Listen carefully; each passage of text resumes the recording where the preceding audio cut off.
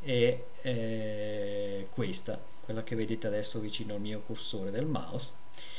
Eh, premessa, questa funzionalità l'ho installata io ma non è, non è entrata di default, o meno finora non lo è, eh, in Unity, cioè un'aggiunta in Unity, probabilmente una, una, proposta che o non ha fatto tempo a entrare per, per, questa versione di Unity o comunque non si sa se avrà veramente il futuro o no, pare di sì comunque che abbia un futuro, però probabilmente per aprile, fine aprile, questo aprile non, non arriva a essere di, di, installata di default, bisognerà installarla a parte se la si vuole ed è eh, questa gestione delle barre di scorrimento barre di scorrimento dinamiche. Ecco, un'applicazione che non supporta o non riconosce queste barre di scorrimento, per esempio il terminale, vedete che ha la classica, eccola qua, la barra di scorrimento, come l'abbiamo sempre vista e come la vediamo anche nell'Ubuntu attuale 10.04 o 10.10, la solita barra di scorrimento.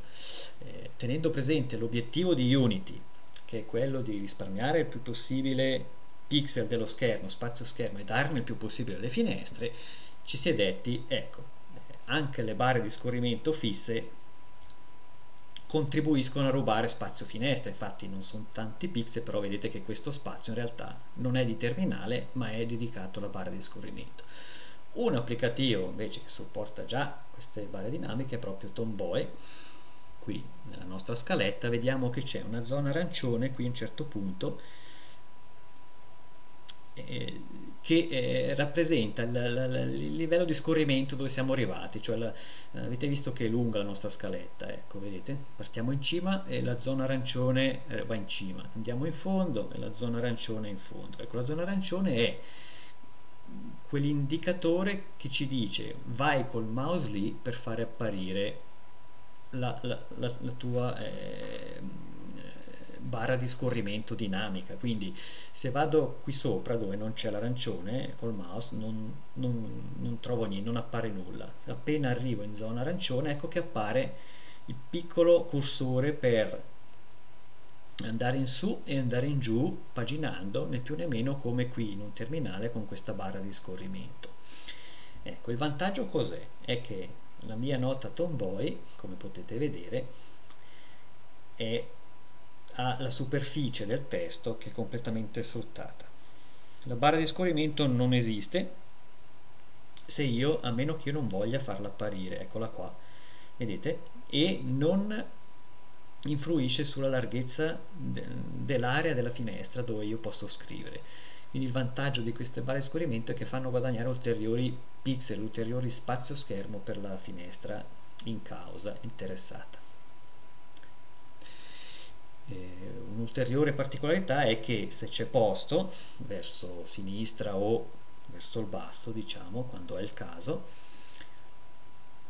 eh, il cursorino qui di scorrimento appare all'esterno della finestra. Se non c'è posto, ecco, se io porto più in là verso il confine dello schermo la mia scaletta, vedete che la barra di scorrimento, allora in questo caso appare appare all'interno, è vero si sovrappone un attimino nel testo che è vicino al bordo, però è, è proprio temporanea, mi tolgo di zona con, con il cursore del mouse e, e, la barra di scorrimento dinamica sparisce, quindi eh, non disturba più di tanto, però ecco, è prevista che appare ovviamente all'interno, se non c'è posto, verso destra per farla apparire. Risposto la mia scaletta un po' più al centro e riappare di fuori la barra di scorrimento. Vedete? Molto carina questo vale anche per il bordo inferiore penso che con Nautilus con il file manager posso mostrarlo se entro in una cartella un po' piena di file.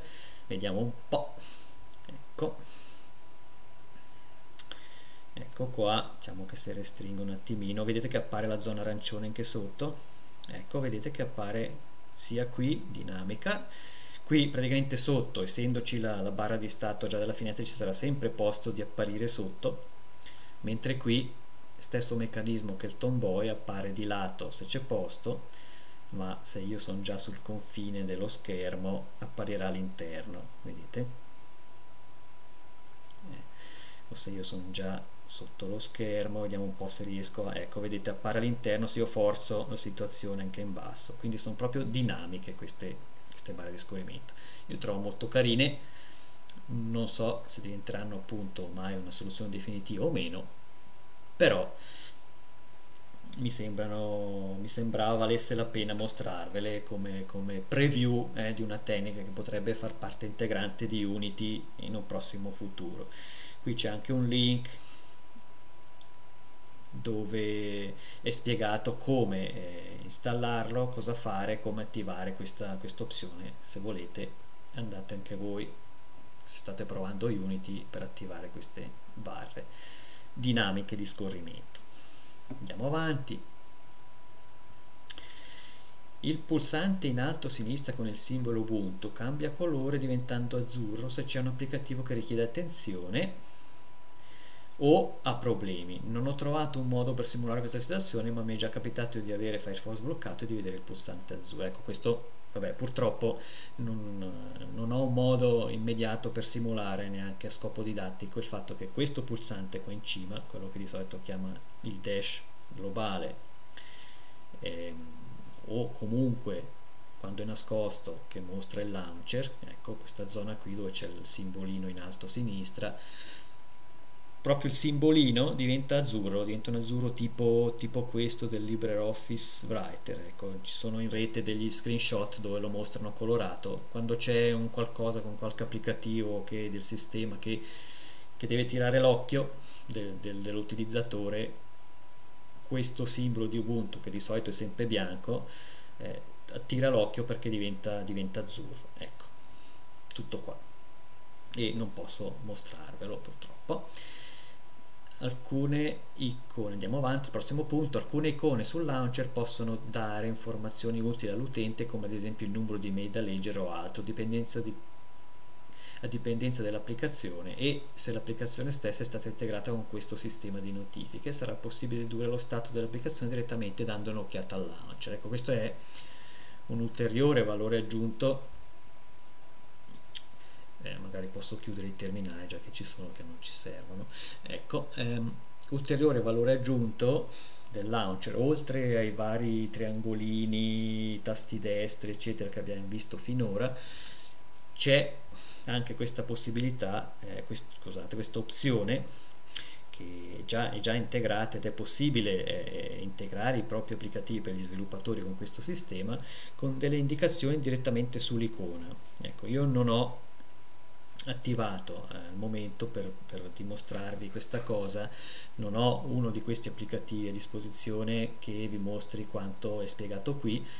Ci sono degli screenshot in rete che vi mostrano degli applicativi tipo quello di Evolution che è la, la, la gestione della posta, il client di posta. Ecco quando ci sono delle mail non lette appare un numero dei messaggi non letti direttamente sull'icona per esempio. Quindi il launcher che già ho appena detto è un oggetto centrale di Unity eh, si carica ulteriormente di informazioni per l'utente e quindi il launcher diventa ancora più a valore aggiunto. Benissimo. Andiamo avanti ancora. Allora per massimizzare una finestra non serve più usare l'apposito pulsante in alto a sinistra ma basta prenderla e trascinarla verso il pannello superiore quando appare un velo azzurro trasparente sullo schermo significa che si può rilasciare la finestra che verrà massimizzata. Allora, vediamo un po', cos'è tutta questa cosa complicata, spiegata a parole. Quando io apro una finestra, per esempio, ecco, apriamo l'editor di testo, che ha una sua grandezza così, che non è né massimizzata né niente, dico voglio massimizzarla, opzione prima, a venire qui col mouse, centrare il pulsantino qui e la finestra si massimizza. Però c'è un'opzione forse più immediata o più facile da centrare col mouse non so insomma un'opzione con il caso carina e pratica è quella di prendere la finestra e portarla verso il bordo superiore. A un certo punto appare ecco questo qui è il, il, il, velo, il velo azzurro di cui ho parlato nel testo della, della scaletta e questo vuol dire che adesso si è attivata l'opzione di massimizzazione di rilascio la finestra con il mouse e diventa massimizzata. Ecco.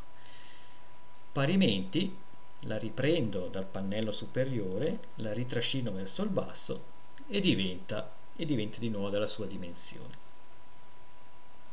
Per affiancare due finestre sullo schermo basta fare la stessa cosa ma trascinando una finestra verso il bordo sinistro e l'altra verso il bordo destro.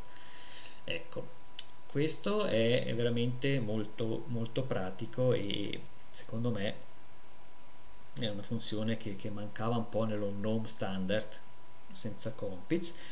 È, è quello che ogni tanto eh, c'è necessità di, di, di, mettere a fianco due finestre per compararne il contenuto o quant'altro, fare dei lavori fianco a fianco e o si regolano manualmente così però non sono mai della stessa dimensione una è un po' più grossa, l'altra è un po' più piccola, un po' più alta, un po' più bassa o si sfrutta quello che abbiamo appena letto nella scaletta cioè invece di portarla in alto per massimizzarla una finestra si porta una verso sinistra e viene massimizzata su metà schermo praticamente viene massimizzata nella parte sinistra eh, dello schermo mentre l'altra finestra usiamo pure la scaletta la portiamo verso destra e viene massimizzata nell'altra metà destra dello schermo. Quindi vedete che abbiamo due finestre di, di larghezza e di altezza identiche automaticamente eh, ridimensionate come vogliamo e possiamo lavorare giocare sulle due finestre. Parimenti come prima se prendo il bordo qua sopra del titolo lo ritrascino via ridiventa come prima stessa cosa ridiventa come prima. Molto pratico come potete vedere. E qui è quello che spiego quello che avevo appena mostrato in pratica è quello che spiego in questo punto. Quindi tenete presente è anche facile da memorizzare non c'è un qualche scorciatoia della tastiera strana ma semplicemente agire con il mouse. Prende la finestra massimizzata ritrascinarla giù si riminimizza diciamo verso sinistra la metà sinistra verso destra la metà destra. Molto facile molto pratico. Poi beh, chiudiamo. Premendo la combinazione Alt F2 oltre a poter cercare un comando da eseguire ecco questo per chi usa GNOME eh, da una vita niente di nuovo eh. Alt F2 è quello che nello GNOME eh, standard tradizionale, tradizionale eh, faceva apparire quel dialogo nel quale si può iniziare a scrivere un comando che si conosce e poi lo si può eseguire. Anche qui l'Alt F2 si scrive so, terminale. Mm, forse gnome.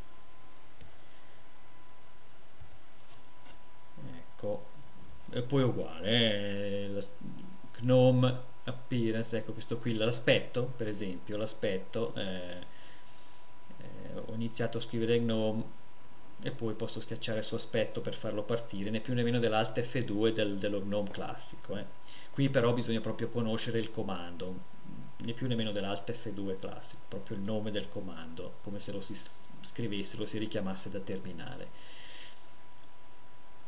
A parte questo, eh, la particolarità che volevo mostrarvi non era l'alt F2 in quanto tale, perché questo è già conosciuto, ma è il fatto che si può scrivere la stringa about due punti config nell'alt F2 che non è altro che la stessa sintassi eh, che si usa in Firefox o in Chrome per far uscire il pannello delle configurazioni di sistema dei, dei browser internet quindi si scrive esattamente la stessa cosa quindi già conosciuta dai browser e è stata ripresa opportunamente qui per comodità quindi si scrive about config e vedete che nei risultati esce eh, l'iconcina del plugin Unity di Compiz.